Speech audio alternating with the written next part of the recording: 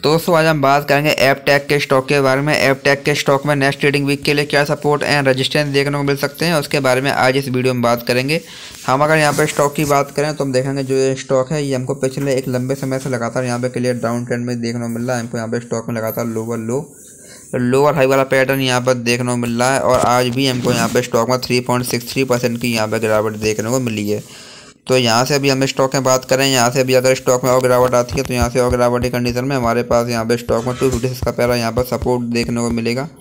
अगर स्टॉक ने यहाँ पर इसको भी यहाँ ब्रेक किया देन यहाँ से हमको स्टॉक में टू फोर्टी फाइव इसके बाद हमको यहाँ पर स्टॉक में टू थर्टी एंड देन यहाँ से अभी हमको स्टॉक में अगेन टू टू तक के लेवल्स भी यहाँ पर देखने को मिल सकते हैं as a next type of support भाई यहाँ से अब अगर स्टॉक में रिकवरी आती है तो यहाँ से रिकवरी कंडीशन में हमारे पास यहाँ पे स्टॉक में टू सेवन टू का पहला यहाँ पर रजिस्टेंस देखने को मिलेगा। अगर स्टॉक यहाँ पर इसको ब्रेक करेगा देन यहाँ हमको स्टॉक में टू नाइन्टी फोर इसके बाद हमको यहाँ पे स्टॉक में थ्री ज़ीरो एट और अगर स्टॉक यहाँ पे इसको भी हम ब्रेक किया देन यहाँ हमको स्टॉक में थ्री ट्वेंटी फाइव और उसके बाद अभी हमको यहाँ पे स्टॉक में थ्री फोर टू तक के लेवल्स भी यहाँ पर देखने को मिल सकते हैं एज अ नेक्स्ट स्टेप और रजिस्टेंस तो स्टॉक में कुछ इंपॉर्टेंट लेवल्स हैं।